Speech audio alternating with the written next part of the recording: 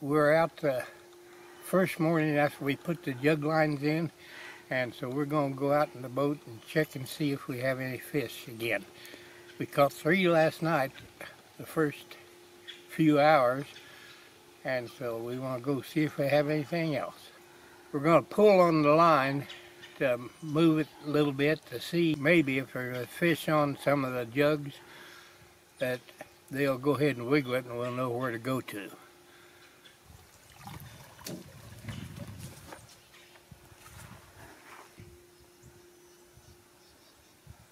Now I don't see anything moving, but we're going to go check and rebait if the bait's gone.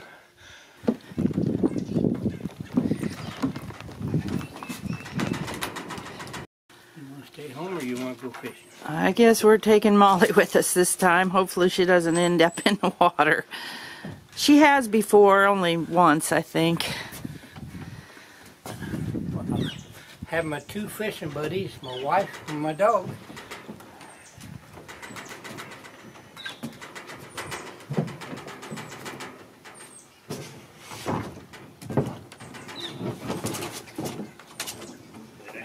On, little dog.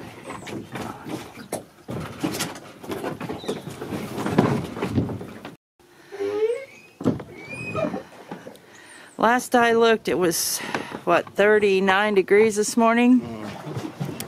So it's pretty cool start to go out in the boat. I still, over there, can't see any movement of any of those jugs. But we'll go check them all. Like I said earlier, I, uh, I think that catfish are really quite smart creatures. And I think that they can communicate with each other. sun's bright.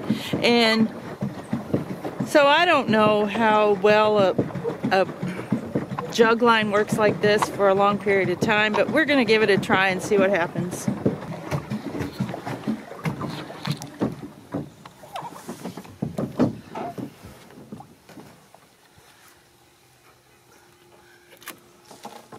Nothing on there, no bait either, so I'm going to have to start baiting hooks.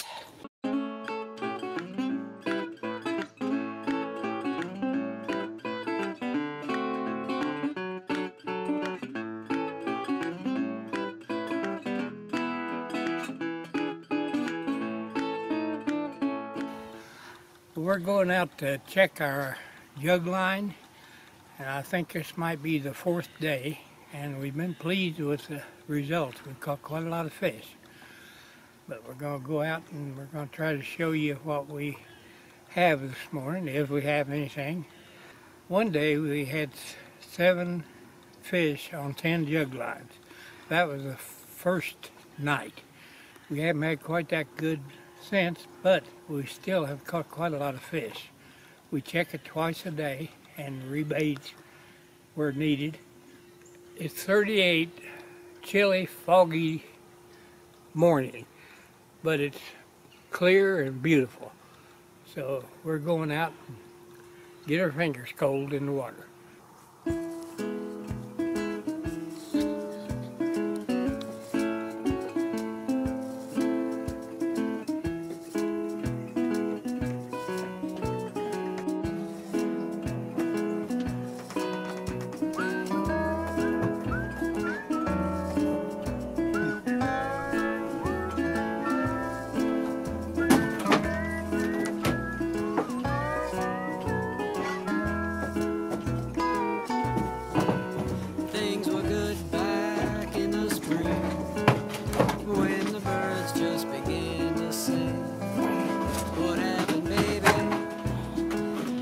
You want to go, Molly? back to me.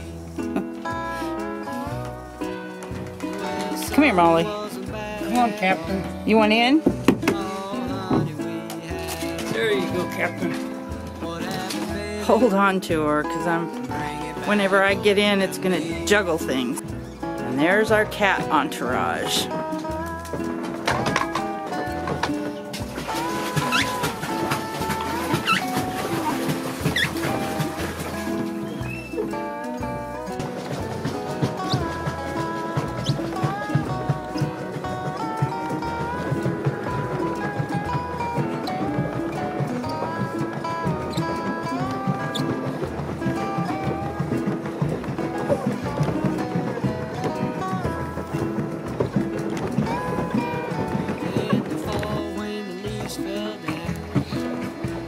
See how that jug right there is bobbling around? That means there is a fish on there. And it looks like there's a fish on the next one too. Feels like it's a pretty good fish. Oh, and we forgot the net. Oh gosh, that's really hard to deal with. okay, he's got his mouth open, so let me see if I can get this Rapala thing in there, but they kind of like to close their mouth if they think you're if you're after them. They don't know if you've washed your hands or not. I don't know. I'm gonna have to take him take him in hand, I guess, but that's always kind of scary. He's a nice one. I think he could be the nicest one we've caught. Fishy, open your mouth. Hmm. I don't know. If anybody knows how to make them open their mouth, tell me. Because I don't know how. Stick your finger in it, that's how. But he'll bite me. I know he'll. They bite. Well, let me see. I've got a good. I've got a good grip on him, so let me see if I can just get the hook out. He's at least two pounds, I think. We've got these fish wells in the back, and so that works pretty good. Now I've got to get the hook baited. When we first did this, we were just using one pellet per hook, but we've, or I guess I'll say I have, ooh boy, these things are kind of cold though. We left them out in the boat all night. But now I'm using two and mashing them together and it makes a bigger wad and I think it, I've heard that the fish the catfish can actually see the the hook if some of the hook is showing and so I'm trying to cover up the hook as best I can and I think it's working pretty good so I've got this baited just put it back in and we'll go on to the next fish I think there's a pretty good one on here too.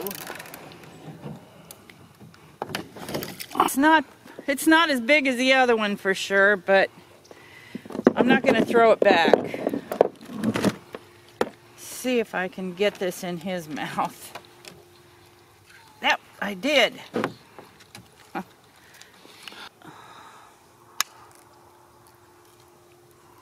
this Rapala thing has really been a good deal because these fish are kind of dangerous to handle because they're so pokey. Their fins have horrible spikes in them that they want to attack you with. It's, it's their defense, and you know, I don't blame them, but I just as soon not get stuck.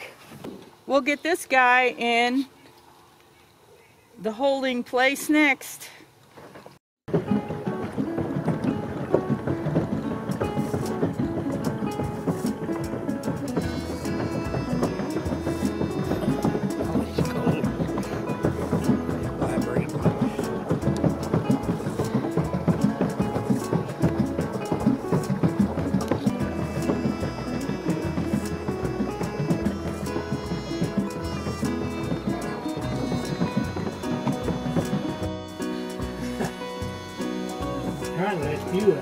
I'm taking pictures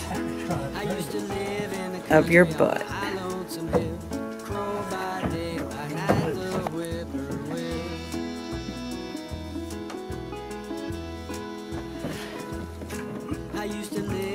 Okay, let's see. she knows there are fish in there.